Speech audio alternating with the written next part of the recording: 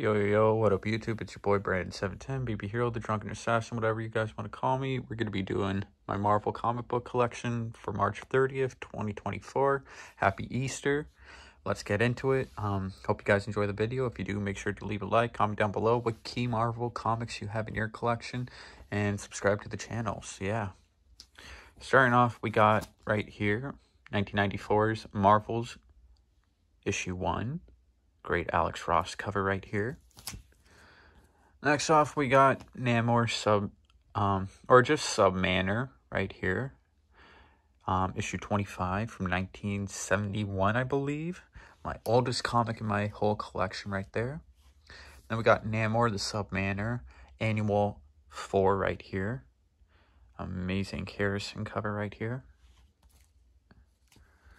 And then we got Marvel Comics presents Wolverine issue 90. Amazing Sam Kieth cover right here with Wolverine.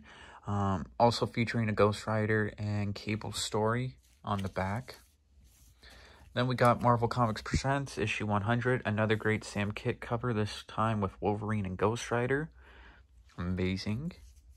Then we got, speaking of Wolverine and Ghost Rider, we got Fantastic Four 349 third appearance of the new Fantastic Four, I believe.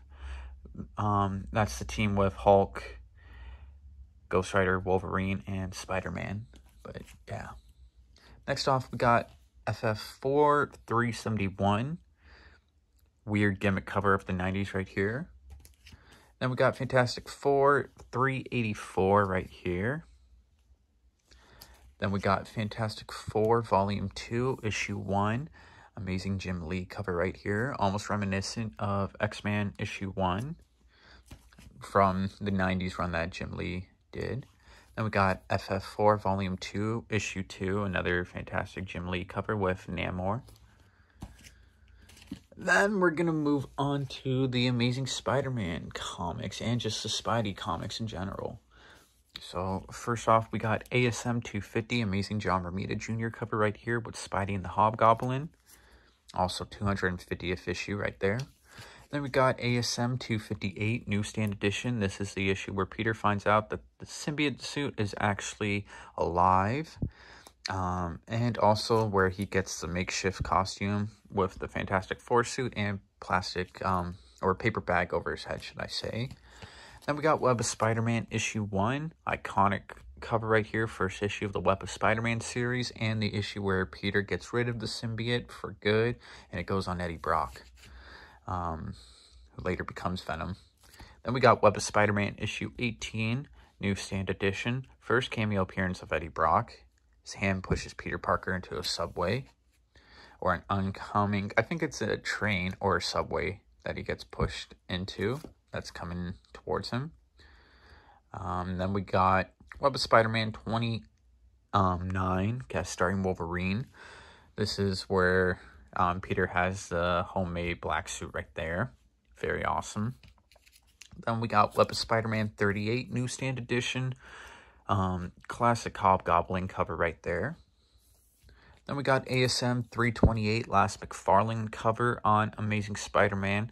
And iconic cover right here with Spider-Man infused with Cosmic Cube punches Hulk. Then we got ASM 332.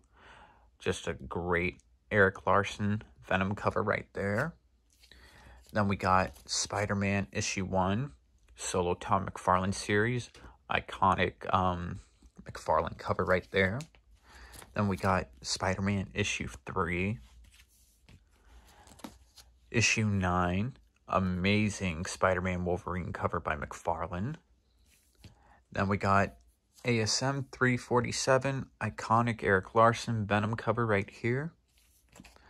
Then we got Spider-Man issue 11, another great Wolverine Spider-Man McFarlane cover. Then we got Spider-Man issue 17, awesome Spider-Man in the hands of Thanos right there with the Infinity Gauntlet.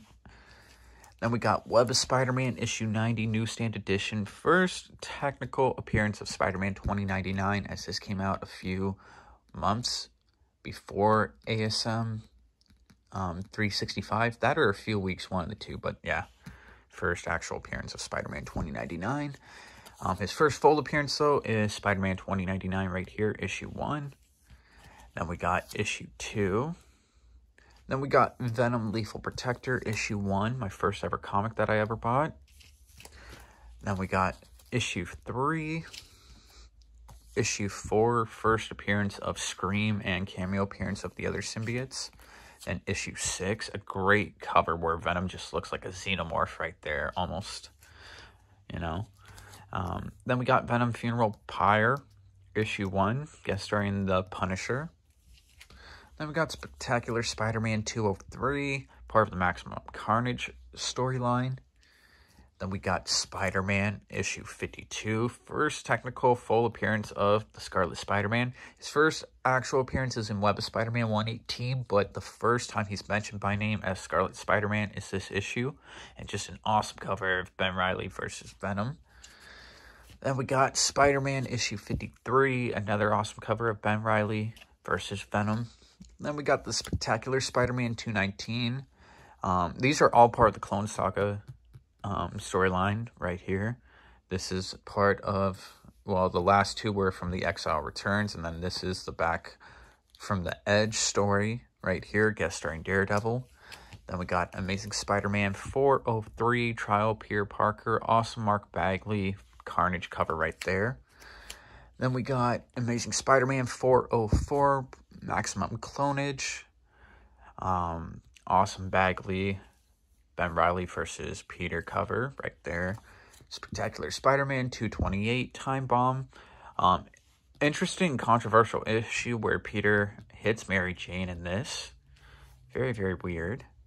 Then we got ASM 405, um, Exile Part 2. Um, awesome Bagley, Ben Reilly cover, and first cameo appearance of the female um, Dr. Octopus. Then we got ASM 406, part of the Great Responsibility story. Um, first full appearance of that female Dr. Octopus. Then we got The Amazing Scarlet Spider. Um, this is when they tried to do that whole relaunch like they did with um, Age of Apocalypse, but instead of it lasting four months, it lasted two because of how bad the Clone Saga was doing. Then we got ASM 407 Return of Peter Parker, new stand edition right there. Then we got um, Spectacular Spider-Man 230, again, just Return of Peter to the Spectacular series. Then we got ASM 420, Blaze It, guest starring X-Man right there. Awesome cover right here. Then we got ASM 441, final issue of Volume 1 right here. Very, very happy to have in the collection. Then we got ASM Volume 2, Issue 1. Awesome right here.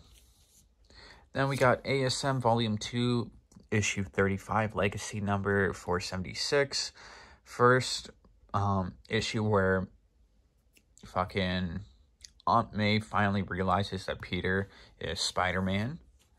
Then we got ASM Volume 2, Issue 38, Legacy number 479.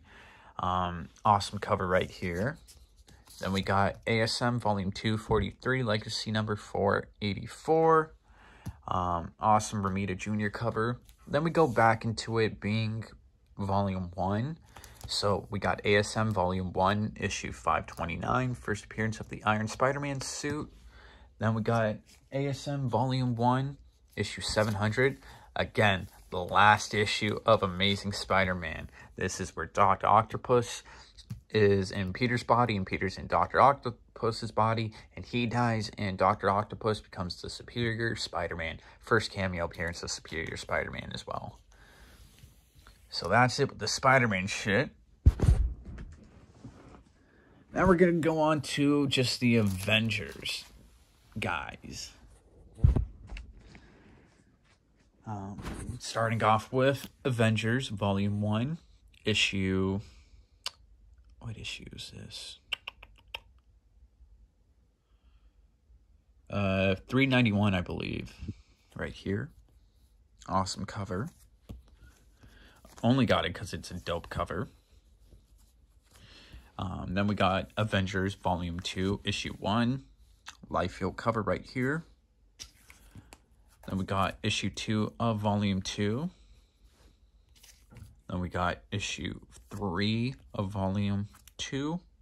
Cool cover with um, Kang versus Thor and Captain. Then we got volume 2, issue 4. Interesting Liefeld cover right here. Then we got um, Avengers Volume 3, Issue 2.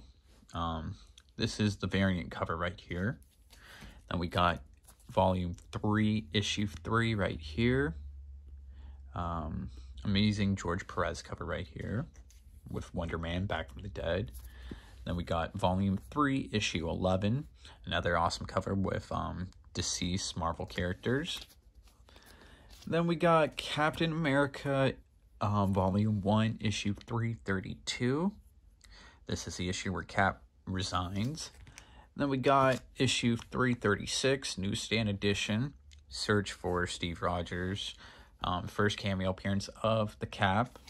Then we got 337, newsstand edition, Avengers 4, um, homage cover right here. First full appearance of Steve Rogers as the Cap. Then we got 363, like the third or fourth appearance of Crossbones and like the second full cover appearance of Crossbones right here.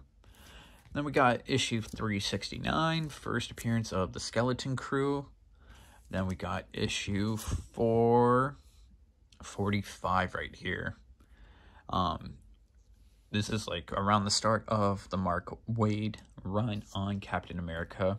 Also just a dope cover right there. Then we got Iron Man 165, volume 1. And then we got 176, awesome cover right there. Then we got 183. Then we got 254, Ho Ho Homicide, awesome cover with him versus the Santa Claus killer or some shit like that. Then we got Iron Man Volume 2, Issue 1.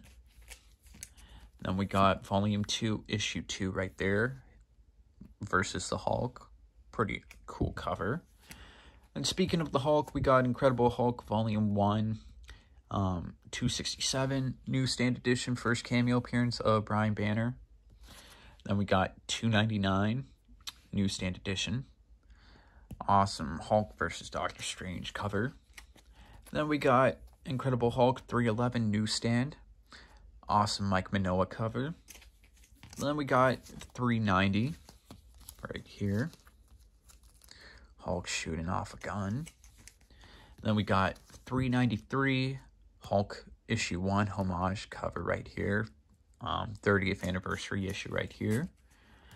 Then we got 410 guest starring Nick Fury. 416. Then we got 417 newsstand.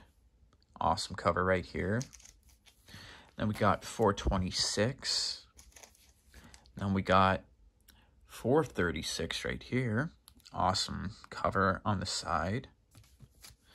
Then we got 446, post onslaught, post banner, first issue where Banner and Hulk are separated. Then we got 460. This is where Banner and Hulk become one again. Then we got 468 right here. Then we got Mighty Thor, Volume 1, Issue 331, Newsstand. Then we got 334, Newsstand. 339, third appearance, Beta Ray Bill, first appearance of Stormbreaker, Newsstand. Then we got 340, 394, 429, guest starring the Juggernaut. Um, rematch of the two, homage to Thor 126, I believe, with the cover. Guest starring Ghost Rider as well. Then we got 433 newsstand. We got 439, 442, awesome cover with Beta Ray. Then we got 449. Then we got 452, another Thor 126 homage cover. Then we got 458, another Thor 126 homage cover. Then we got 460, a great Harrison cover right there. 461, another great Beta Ray Bill cover. 462, 463, 464, 65, 6, 7, 8. Awesome cover with um Silver Surfer right there. 469, 470, 471. Another great cover right there. 475. Um, awesome Harrison cover right there. Newsstand edition. Then we got 491. Awesome cover. 497. Then we got issue 502, last issue of volume 1 right there. Very awesome to have. Not only the last issue of ASM volume 1, but also for volume 1 at their respective times. Then we got Mighty Thor, volume 2, number 38. Legacy number 540, issue 39, legacy number 541, issue 41, legacy number 543, awesome cover right there, and issue 42, legacy number 544. Whew. Now we're going to move it to the X-Men comics.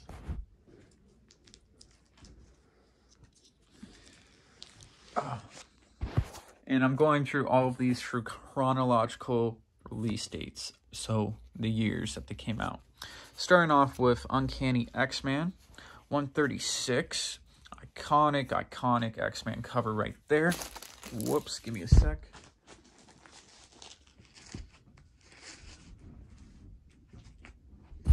But yeah, 136 Uncanny X-Man. We got an iconic cover right here part of the Dark Phoenix storyline.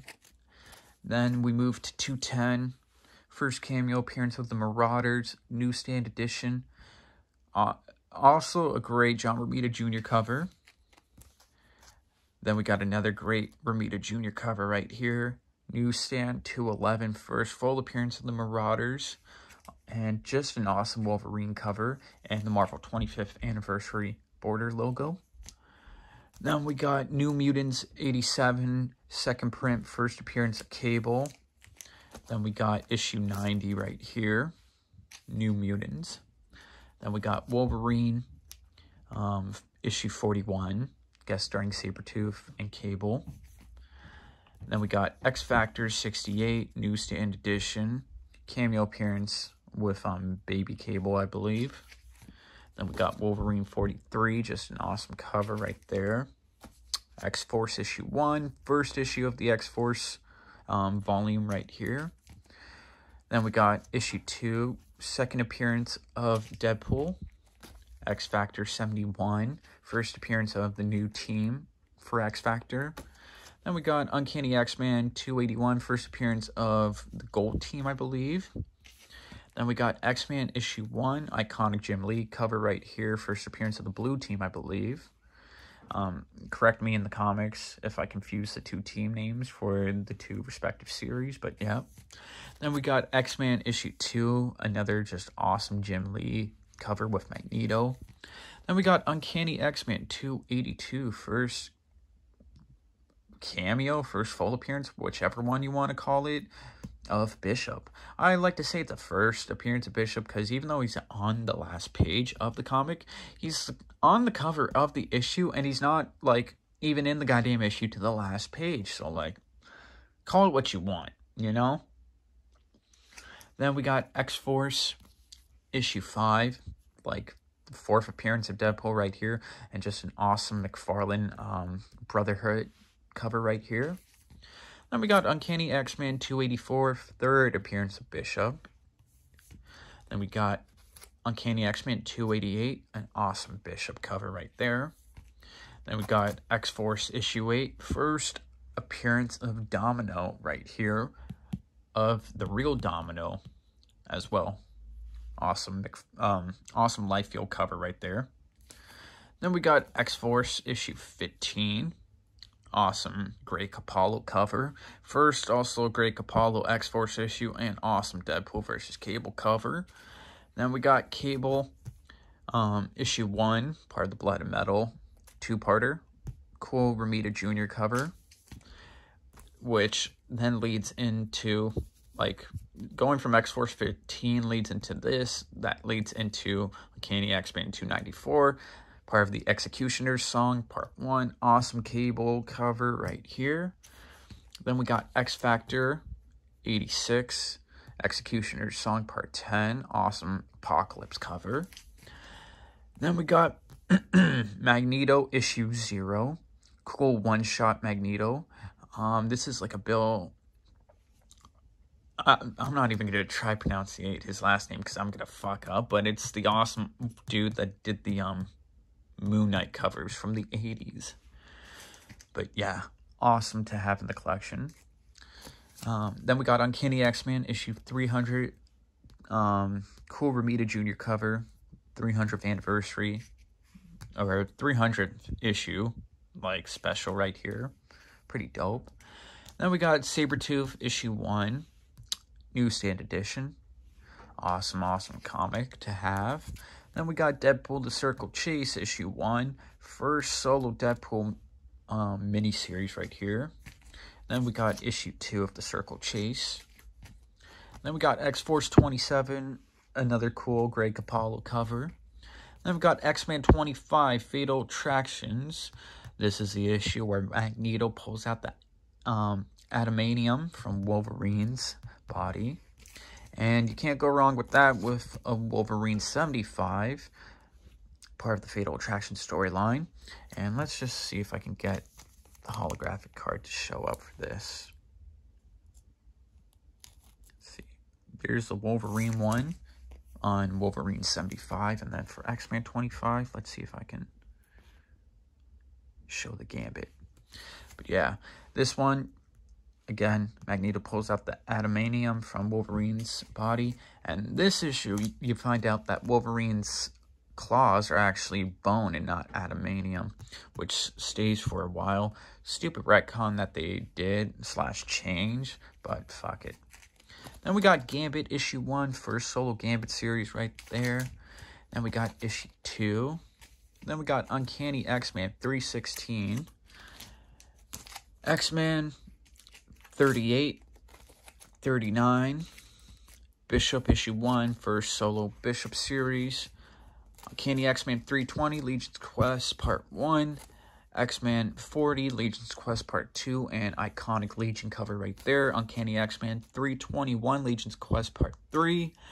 Then we got X-Men Alpha, first appearance of the whole Age of Apocalypse world and characters. Then we got Weapon X issue 1, two, three, and four. Then we got X-Men Omega right here, end of the Age of Apocalypse story. Then we got X-Men Prime, first appearance of X-Man, Dark Beast, and Holocaust in the um, Marvel 616 universe. Then we got X-Force issue 44. Um, I forget this character's name, but he leaves the X-Force team and joins the Uncanny X-Man. Then we got Uncanny X-Man 322, first mention of Onslaught by name right here. Then we got X-Man issue 44, um, anniversary issue. Uncanny X-Man 325, um, anniversary issue. Then we got Uncanny X-Man 327, first appearance of Joseph Magneto's clone right there. Then we got X-Force issue 50, anniversary issue.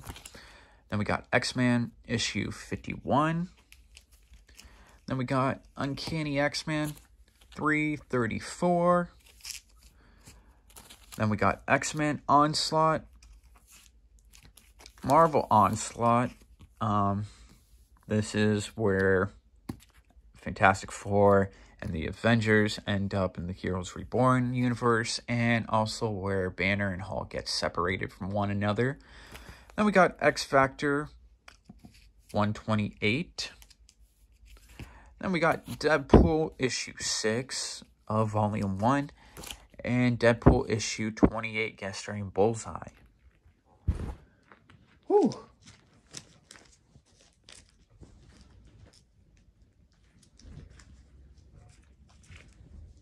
And now for the last category, we're going with the more street level or more adult themed characters in the Marvel Universe. Starting off, we got our boy Wolverine, issue 48, um, part 1 for the sequel to Weapon X. Wolverine, issue 59, iconic cover right there. Issue 62, issue 65, issue 82, which, in my opinion, is one of the best covers in comic book history right there. Very, very awesome. Then we got issue 90. Um, or no, this is 91 right here. Yep, issue 91. My bad. Then we got issue 95. 102, which is a cool cover with Wolverine after that whole like little um, feral design that they tried to do in the mid 90s right there. Then we got issue 107. Then we get um, next off, we got Deathlok, issue 6, guest starring The Punisher. Then we got Nomad, um, issue 4, newsstand. First appearance of Deadpool outside of the X-Men comics right there. Then we got Ghost Rider, issue 6, guest starring Go um, Punisher. Then we got Ghost Rider, issue 13, awesome cover. Then we got Ghost Rider, Spirits of Vengeance, issue 6, iconic Venom cover right there. Then we got Ghost Rider 2099, issue 1, first appearance of Ghost Rider 2099. Then we got um, Daredevil 179, iconic Frank Miller cover right there. Then we got Daredevil 181, iconic cover and newsstand as well, but this is also the death of Elektra right here. Then we got Daredevil 183, iconic Frank Miller cover. First um, meeting between Daredevil and the Punisher right there. Then we got Daredevil 187, another iconic Daredevil cover. We got Daredevil 193, um, little homage to The Shining. Awesome Klaus Janson cover as well. Speaking of cool Klaus Janson covers, we got Daredevil 196, newsstand. First meeting between Daredevil and Wolverine. Then we got Daredevil issue 200, iconic cover versus Daredevil and Bullseye. Um, also, this is the last battle between the two for quite a bit as Bullseye doesn't return until Captain America issue 373, I believe, and doesn't come back into the Daredevil comics until 284. Yeah. Next off, we got Daredevil issue 257. Awesome Romita Jr. cover of Daredevil and Punisher with the Twin Towers in the background as well. Newsstand edition. Then we got Daredevil 284, the return of Bullseye into the Daredevil comics right here. Um, but again, he comes back in Captain America 373, I believe. Then we got Daredevil issue 300. Awesome, awesome cover. Then we got Daredevil 321. I believe this is the first appearance of the black and red Daredevil suit that he has. Also, guest starring Venom and just an awesome cover. I believe it's a wraparound or some shit like that, but it's an awesome 90s gimmick cover. Then we got Daredevil 326. Pretty cool cover. Then we got Punisher issue 10, um, part of volume 2, guest starring Daredevil. First part of that story um, right there. The second part is that Daredevil 256. Then we got Punisher issue 75. Awesome, awesome cover right there. Then we got Punisher War Journal, issue 2, guest starring Daredevil. Then we got issue 6, newsstand. First battle between Wolverine and Punisher. Awesome Wolverine Jim Lee cover as well. Then we got issue 7 of the two-parter right here. Another awesome Jim Lee cover. But the first team up between the two. Um, then we got Punisher War Journal, issue 29. Awesome Punisher Ghost Rider cover right there. Whoops. Then we got Punisher War Journal, issue 31, 34, and 36. All have great covers right here.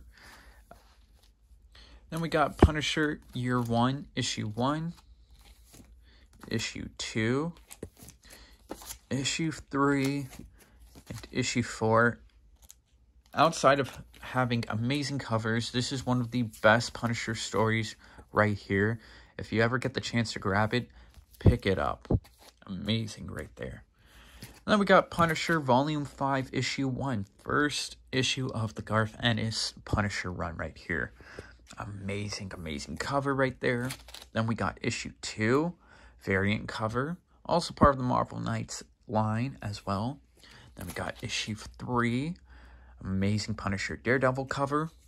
Then we're jumping all the way to Issue 10, Issue 11, and to end off Volume 5, Issue 12. But yeah, that's it for the Marvel comic book collection of March 30th, 2024.